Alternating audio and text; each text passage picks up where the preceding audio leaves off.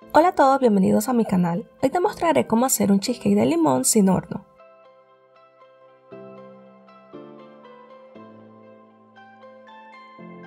Para la base colocamos las galletas María o digestivas en una procesadora de alimentos. Procesamos las galletas hasta molerlas completamente. Si no tienes una procesadora, puedes poner las galletas en una bolsa de plástico y triturarlas con un rodillo. Derretimos la mantequilla en el microondas o a fuego lento, asegurándonos de que esté completamente derretida pero no caliente. Y la vertemos sobre las galletas molidas. Y mezclamos hasta que todas estén cubiertas. Preparamos un molde desmontable de 22 centímetros de ancho y 8 centímetros de alto con papel para horno. Esto facilitará desmoldar el cheesecake más tarde.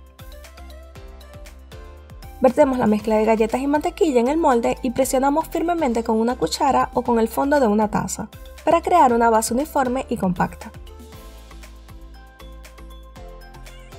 Asegúrate de cubrir bien el fondo del molde y sube un poco la mezcla por los bordes si deseas un borde más alto.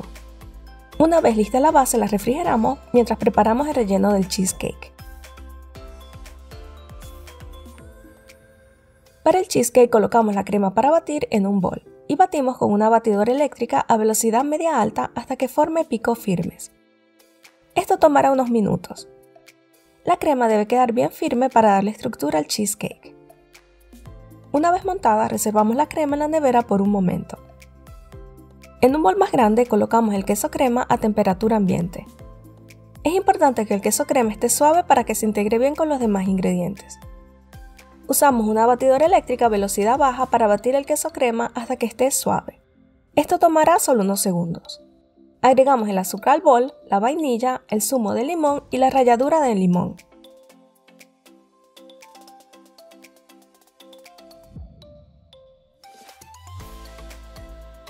Mezclamos hasta que todos los ingredientes estén combinados y la mezcla sea homogénea. Por último, añadimos la crema batida al bol con el queso crema.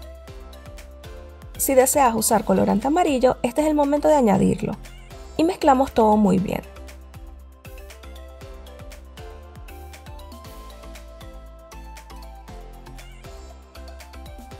Sacamos el molde con la base de galletas y vertemos la mezcla, extendiéndola de manera uniforme con una espátula y alisando para que quede nivelado y llevamos de nuevo a la nevera. Dejamos enfriar el cheesecake por toda la noche o por al menos 8 horas. Una vez que el cheesecake haya enfriado y cuajado completamente, retiramos el molde desmontable con mucho cuidado. Si usaste papel para horno en la base, deberías poder deslizar el cheesecake fácilmente sobre un plato de servir. Puedes decorar el cheesecake con rodajas de limón, ralladura de limón adicional o incluso un poco de crema batida.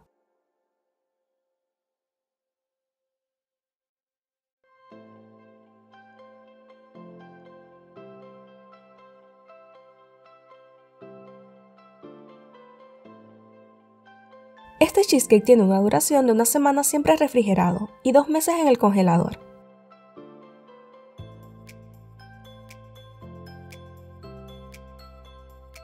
Si te gustó este video no olvides darle like y suscribirte para más deliciosas recetas. Nos vemos la próxima semana con otro video. ¡Chao!